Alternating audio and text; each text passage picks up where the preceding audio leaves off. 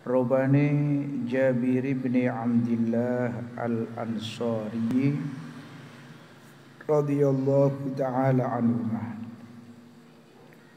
Anda rojulan satu hune wong lanang iku saala takon sapa rajul Rasulullah ing Rasulillah sallallahu alaihi wasallam. Faqala mongko matur sapa rajul Aro'aita ngabarono panjenengan ing kawula Ida sallaitu nalikane salat ingsun as-shalawati ing pira-pira salat Al-maktubati kang akan kabeh Wasumtu lan poso ingsun Ramadhana ing Ramadan atau ing dalem bulan Ramadan wa ahlaltu lan ngalano ingsun al halala ing perkara sing halal. Maksude ngalalno iku aku nglakoni perkara sing halal lan aku nekotno nek iku halal.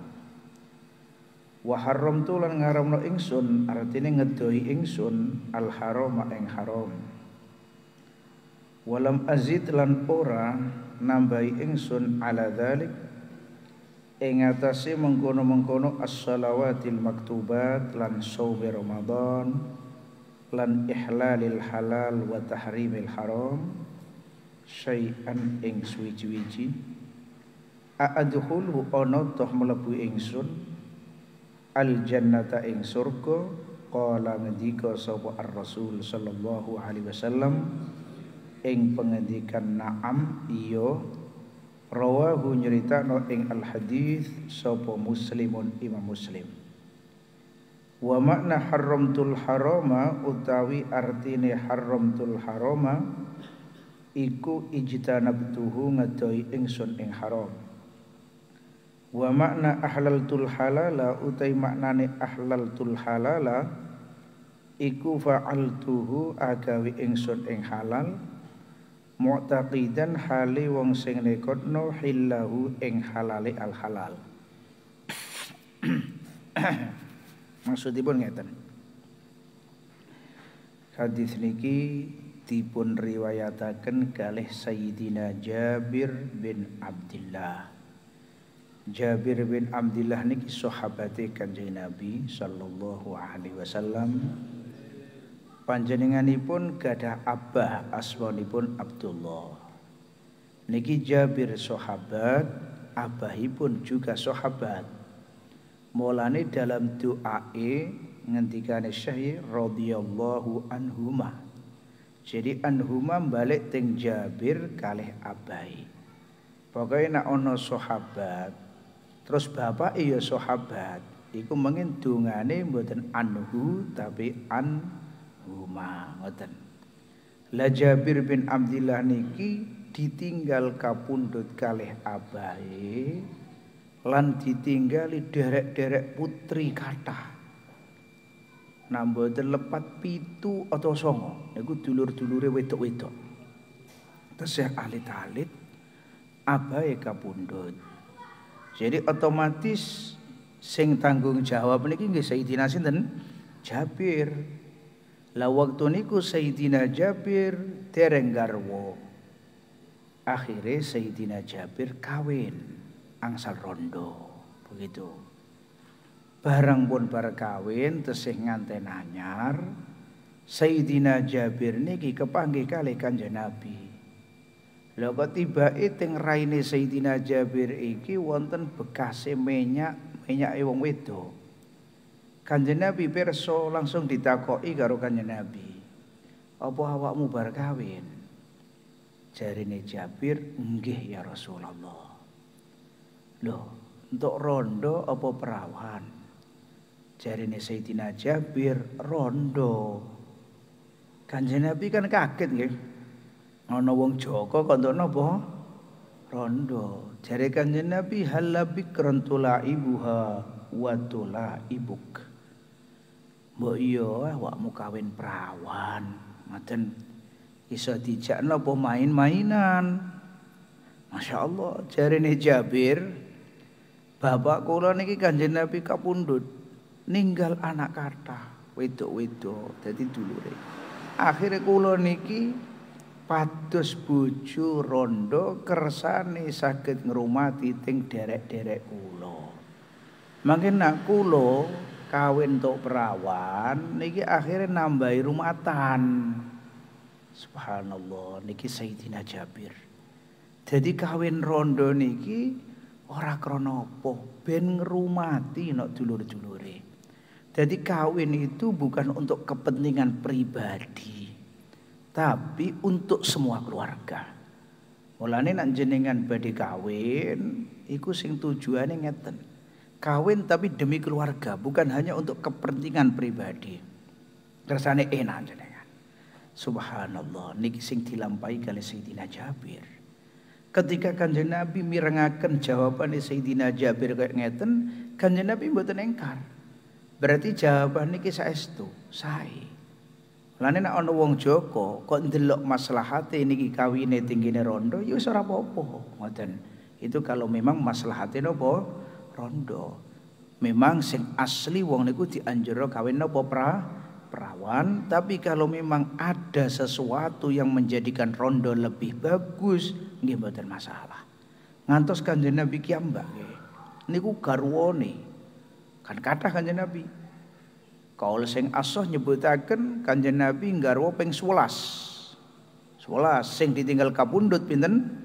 Songo. Lah niku rondo kabeh sing mboten cuma setunggal tok. Inggih punika Sayyidah Aisyah radhiyallahu taala anha. Sayyidah Aisyah niki ingkang perawan lintune rondo-rondo kabeh. Mergane Kanjeng Nabi garwa niki garwa niki ngoten itu bukan untuk istilahipun nyun sewu nuruti syahwat atau pembuatan. Tapi keranten tujuan-tujuan ingkang sae. Tujuan-tujuan tertentu ingkang betul kemaslahatan dan betul kemanfaatan. Kados misale Kanjeng Nabi garwa Sayyidah Juwairiyah. Oh, saking Banil Mustalik. Tiga akhirnya kali kanjeng Nabi. Tapi Masya Allah akhirnya tawanan-tawanan dari Banil Mustalik. Setelah sahabat tahu nak Sayyidah Juwairiyah dikawin kali kanjeng Nabi. Tawanan-tawanan perang dibebas no. Akhirnya wong Banil Mustalik niki mikir kok api emen ya kanjeng Nabi. Sahabat ya kok api emen. Akhirnya podo masuk Islam dewi-dewi. Lah niki lho. Gara-gara Sayyidah Juwairiyah digarwakan Nabi, kaume sing sak monten kadahe padha masuk Islam. Dadi garwane Kanjeng Nabi nggih ngeten iki tujuane. Kersane niki masuk Islam. Dadi ambek dakwah ngoten. Mulane Kanjeng Nabi garwane niki rondo-rondo sing perawan cuma setunggal ikranten garwane kabeh karena tujuan dan hikmah-hikmah ingkang tertentu. Nah tinggi di hadis niki dipun sebutaken wonten tiang jaler tang kleting kanjeng Nabi. Kanjeng Nabi kula niki kasih tahu menawi kula niki pun gelem salat limang waktu. Gelem poso Ramadan. Sing halal kula lakoni, sing haram-haram kula tinggal. Mun niku tok, mboten kula tambah-tambah. Napa kula niki mun saged mlebu surga? Uh, Kanjeng Nabi jawab naam. Luar biasa niki. Jadi iya wis iso mlebu surga. Berarti maknane nak jenengan pun purun salat, gelem nglakoni salat lima waktu, Ramadan gelem poso, keharaman jenengan tinggal, sing halal jenengan lakoni, walaupun boten nglakoni ngeten-ngeten kesunatan sing kathah niki pun saged mlebu surga. Pokoknya jane kuncine nggih mlebu surga niku perintah Allah jenengan lakoni sing dilarang jenengan tinggal. Ngene ku tok. Niki nak jenengan tinggal lan jenengan angen-angen. Niki sangat sederhana tapi mungkin lakonane nggih berat. Masalahnya apa? Wa haramtul haram niku. Sing paling wabet niki kan ninggal keharaman niku. Kadang tiang sholat nggih, Poso nggih. Tapi haram nggih. Lah niki sing garai sing boten garai ganggu mlebu napa? Surga. Jadi mlebu surga kudune haram dipun tinggal lah keharaman niku sak monten kathah jenengan ngertos ki Mbak. Keharaman niku sak monten kathah. Rasane niku haram lho nggih. Insyaallah gremengi wong ngrasakane niku haram kabeh. Bismillah. Jadi intine nggih resep nggare mlebu surga itu gampang, dirungono ya gampang. Mboten kados sing jenengan bayangno kudu ngene-ngene mboten. Tapi amalane sing napa? Angel. Olane wonten tiyang sing sanjang wong iku sing paling penting ya ora maksiat. Sini kuwane. Jadi wis gak patio tampil koyok-koyok wong khusyuk begitu. Mboten, tapi penting orang mah sihat. Wis kuncine niku penting mboten maksiat. Lan jenengan saged ninggalo keharuman kanthi maksimal. Itu kalau memang jenengan tahu siji-sijine keharuman. Perkara sing diharamno kali Allah taala iku apa. Jenengan tingali. Misale minum arak, zino, rasan-rasan. Nggih zalimi teng tiang nglarakno teng tiang drengki sombong ujub sak teruse niku kudu jenengan pahami kabeh. Nak jenengan mboten paham siji-sijine keharaman iso-iso jenengan nglakoni keharaman lan jenengan mboten rumangsa nak jenengan nglampahi haram. Niki sing paling bahaya jadi yang paling bahaya itu ngelakoni keharuman lan kiambak mboten rumangsa nak ngelakoni haram niku paling bahaya. Mergane napa orang irat obat wong ora rumangsa salah. Tiang ngelakoni keharuman nak isih eling iku haram ini wonten harapan kiambak taubat. Duwe harapan dekne menyesal. Gak ada harapan dekne mungkin nangis lan getun tapi namun mboten ngertos nak niku haram. Harapan taubat mboten wonten wong anjen ora merasa napa salah. Pokok intine tiang niku kudu ngerti sing elek bundi, sing apik bundi. Ora kok tujuane nak ngerti ngeten iki badhe nglampahi keelekan mboten. Tapi bin saged ngindari keelekan. Araftu syarra lakin la li syarri ah, araftu syarra la li syarr lakin li tawaqqihi jadi aku iki roh keelean ora kok krona ping lakone. Tapi nopo? Tapi ben selamat saking keelean. Kala lau keharuman sakmonten gadai nggih termasuk pergawis ingkang haram dan bahayani inggih punika syirik niki keelean sing mboten wonten ampunanipun. Innallaha la yaghfiru ayyushraka bihi. Dadi nak mun syirik A'udzubillah. Syirik niku mlebu ing kekufuran. Atau kufur niku lho jenis syirik. Mulai cilik sampai syirik ada dosa sing mboten diampuni kali Allah taala. Artinya kalau mati dalam keadaan syirik ngeten. Begitu juga murtad. Murtad itu ninggal agama Islam pindah ke agama yang lain. Ini juga sangat bahaya. Sangat bahaya.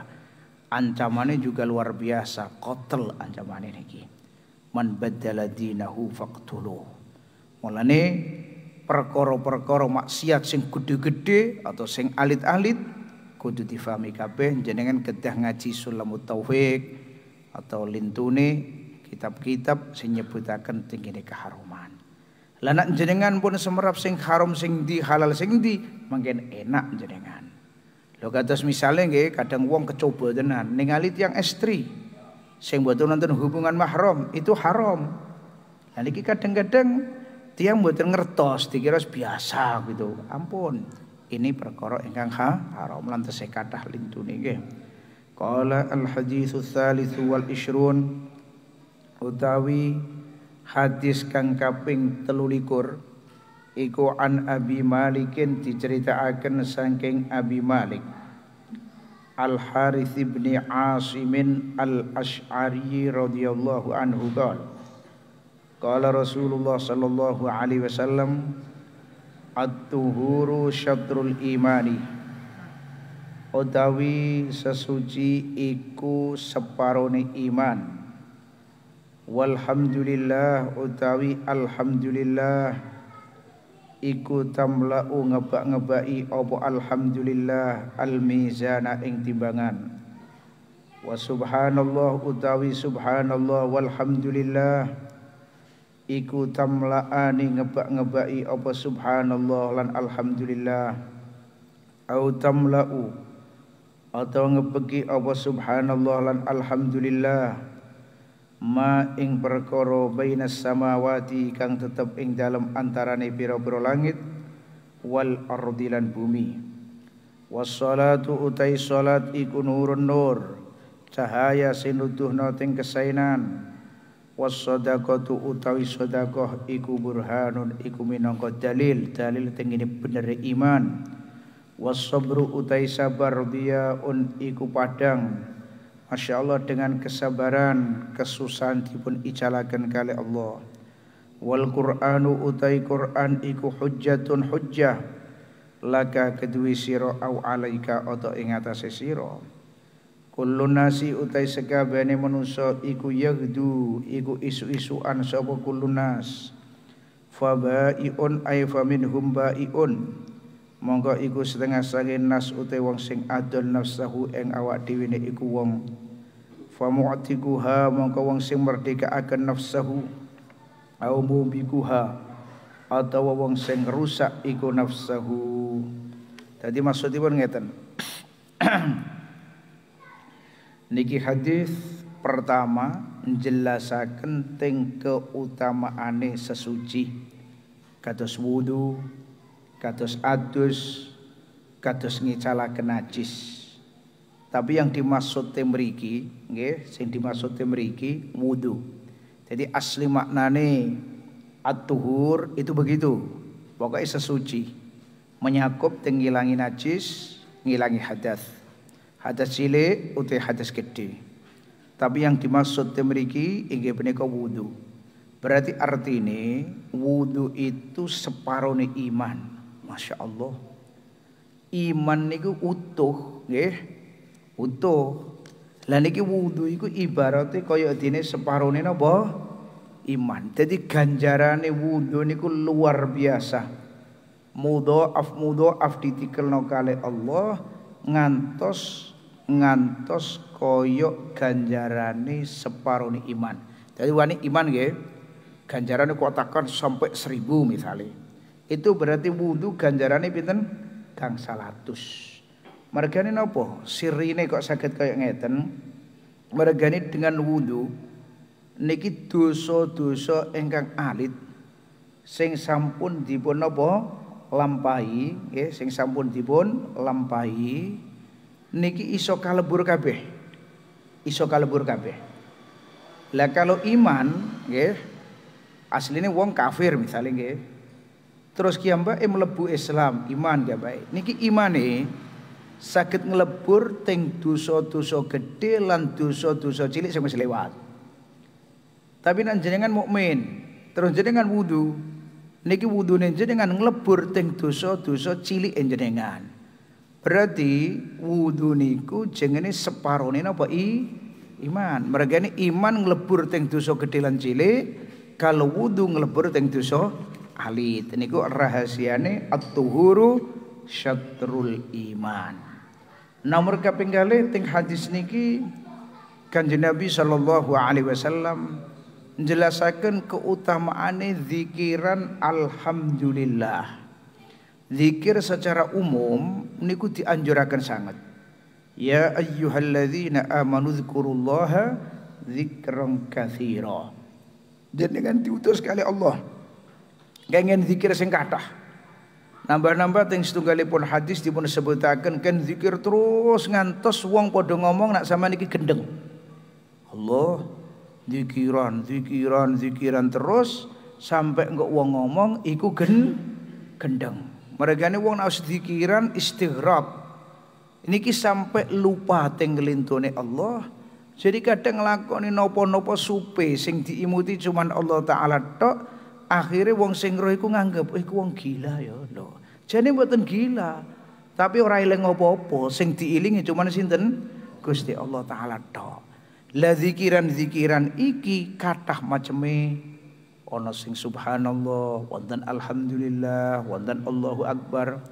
Lah mriki dipun terangaken kalih Kanjeng Nabi sallallahu alaihi wasallam tibae zikiran rupi alhamdulillah niku ganjarane sak kata-katae. Sok ting dinten kiamat niku wonten istilah timbangan. Timbangan niki timbangane amal. Jadi kangge nimbang amal. Amal sae, amal elek ditimbang sok. Sing kathah pundi? Timbangan niki mboten kados timbangan kodok niku cilik niku mboten. Timbangane kewedhe niki nggih. Lah niki ganjarane alhamdulillah niki ternyata masya Allah nampak ngebegi timbangannya amal. Berarti nak timbangannya niki kebek hasanai penuh berarti menang ke api ane. Nak menang ke api ane berarti tiang niki ngehai dipun sepunten lan diparingi rahmat kali Allah Subhanahu wa taala. Mulane nak jenengan pun ngertos kaya ngeten iki. Ojo sampai ninggalaken maca alhamdulillah. Sakit-sakit mungkin jenengan urut. Misalnya ngeten badhe tilem. Jenengan maca alhamdulillah alhamdulillah ping 33 eh subhanallah subhanallah ping telung puluh telu alhamdulillah ping telung puluh telu Allahu akbar ping telung puluh papat niki mergane zikiran sing diparingno kalih Kanjeng Nabi dumateng Sayyidah Fatimah lan Sayyidina Ali ketika Sayyidina Ali lan Sayyidah Fatimah sowan teng Kanjeng Nabi nyuwun budak kalih Kanjeng Nabi nambah mboten diparingi budak tiba nambah diparingi zikiran minangka gentine budak sing dijaluk. Napa zikirane? Sayyidina Ali lan Sayyidah Fatimah tiap badhe sare diutus maca subhanallah ping 33. Alhamdulillah ping 33. Allahu Akbar ping 34. Lah niki ganjarane subhanallah kados teng mriki dipun terangaken wa subhanallah walhamdulillah tamla'ani au tamla'u ma bainas samawati wal ard. Allah. Jadi ternyata ganjaran subhanallah walhamdulillah niki ngebak-ngebaki antarane langit kali bumi. Jenengan perso. Jarak antarane langit kali bumi niku pinten kilo. Pinten ewu kilo. Sing ketok biru-biru itu mboten langit yang dimaksud. Langit itu sing dimaksud sing ana pintune kados sing cerita Isra Mi'raj. Jadi jarak langit kali bumi niku sak tebi-tebiye. Lah sak ombo-ombone lan sak tebi-tebiye bayangno. Kalau ganjaran upamane diketokno sampai ngebai antarane langit kali bumi itu berarti ganjarane sak kata-katai. Cukup dengan bacaan subhanallah walhamdulillah. Niki enake dadi tiyang mukmin. Lah apa meneh nek jenengan maca subhanallah walhamdulillah tambah mungkin wala ilaha illallah wallahu akbar. Wah nambah kata niki wong lagi subhanallah walhamdulillah mun koyo ngeten lah nek jenengan waca ping 1000 jenengan waca ping 100 wah ganjaran sampean iki sepiro katahe Karena sing ero niki kecuali Allah. Mulane nggih, tiang niku mboten saged. Ngeremehno teng tiang lintu itu nggak bisa. Ngertos jenengan. Tiang lintu sing jenengan anggap remeh ngerti nak jenengan apa tiang ini ku misale wiritan. Maca subhanallah walhamdulillah ganjarane mun sak wonten kadai. Jenengan kan mboten perso. Pas kiambake lagi maca subhanallah walhamdulillah kok diterima kali Allah. Ganjarane mun sak agung-agunge. Jadi luar dugaan kabeh. Namun koyok ngeten iki semerap jenengan aja sampai jenengan ninggalaken subhanallah walhamdulillah. Lah carane termasuk pekeling ben ora lali niki jenengan tuku tasbih nggih tumbaso tasbih gawe wiridan kersane uh sakono tasbih subhanallah walhamdulillah lah nek ora ono gak ono pekilinge jadi ben ono sing elingno jenengan nggawa tasbih. Jadi kalau subhan alhamdulillah tok mun ngebai timbangan, saat ini diterang no subhanallah tambahi alhamdulillah nambah ngebai antarane langit kalih bumi. Wassalatu utawi salat iku nurun nur. Maksudnya apa as-salatu nurun? Jadi maksudipun salat itu kan cahaya begitu. Maksudipun iso nuduhno ting kesainan. Padha karo nur cahaya nuduhno teng kene dalane keselamat sametan. Pemanin jenengan melampah, nggak ono cahaya sama sekali malam-malam bingung jenengan nabrak-nabrak. Tapi kalau wonten cahaya ini jenengan semerap. Begitu juga as-sholah. Ketika tiang niki ngelampai sholat semerap pun diseng khair terus akhirnya pun dipun lampai. Mulanya ketika seseorang niku mun purun sholat akhirnya inna sholata tanha anil fahsya'i wal munkar. Salat sing larang kiambake saking nglakoni keelekan. Wong niku nak gelem salat salate apik saestu salat tenan pasti kiambake mboten purun nglakoni keelekan. Margane salat niki iso ndadekno wong ninggal kemungkaran. Lah saiki kok ana wong wis nglakoni salat tapi kok pancet nglakoni kemungkaran. Itu sing salah bukan salate, wonge oleh nglakoni salat gak baca tepak. Kurang khusyuk eh kurang apa nih intinya sholatnya kurang sempurna. Seandainya sholatnya bener-bener sholat ampun pasti wes gak kira gelem nglakoni apa maksi maksiat wasodaqatu burhanun sodakoh itu minangka burhan minangka dalil sing nuduhno benere iman jadi kan ngeten nggih wong niku duwe watek gak ada watek seneng dunyo niku pun watek tiyang. Apa meneh ki merasa, wah aku ngumpulno donya, kesele ora pakat. Tiap hari mulai isuk sampai asar. Setelah kumpul masa tak kena wong. Begitu wes. Nak ki ambake niki mboten gada iman saestu, orang ngira gelem sedekah. Mboten ngira gelem ki ambake nyerahno harta, hartane mboten ngira. Abot tapi sampai ini gelem itu berarti nuduno anane keimanan ingkang wonten teng ati. Berarti maknane bener-bener ndekne iki duwe iman sehingga ngeculno bondo sing biasane disenengi niki enteng. Mergane eling, wah iki kok bener tak culno. Tapi hakikate mboten ilang. Hakikate nanti ini napa diijoli kali Allah taala dengan ijolan sing luar biasa agenge. Jenengan perso naminipun Abi Talha Al Ansari radhiyallahu taala anhu. Abi Talha Al Ansari sahabat kanjeng Nabi sallallahu alaihi wasallam. Niki Abi Talha Al Ansari nggih masyaallah. Barang pireng wonten ayat lan tanalul birra hatta tunfiqu mimma tuhibbun. Niki langsung sowan teng kanjeng Nabi, matur teng kanjeng Nabi, ya Rasulullah kebun kula biruha niku sing paling kula remeni iku innahu min ahabbi amwali ilayya paling kula remeni tapi Gusti Allah kan ngendika lan tanalul birra hatta tunfiqu mimma tuhibbun keranten menika pun kula serahno kula serahno kula dadosaken sedekah teng kene sabilillah akhirnya diserahno teng kanjeng Nabi ya apa jawabane kanjeng Nabi bahin bahin malun robih Kata-kata bahin-bahin ini diucapkan untuk menunjukkan teng keridonan. Berarti maknanya ridho kanjeng Nabi kalih sodagoy atau kalih penggaweane Abi Tolha. Jari kanjeng Nabi malun robe, malun robe. Iki harta sing batin iki. Jadi ketoke bener bondo sing paling api ucul kotangane. Tapi ternyata jari kanjeng Nabi itu harta sing batin meragani balasane nanti teng surgane Allah Subhanahu wa taala.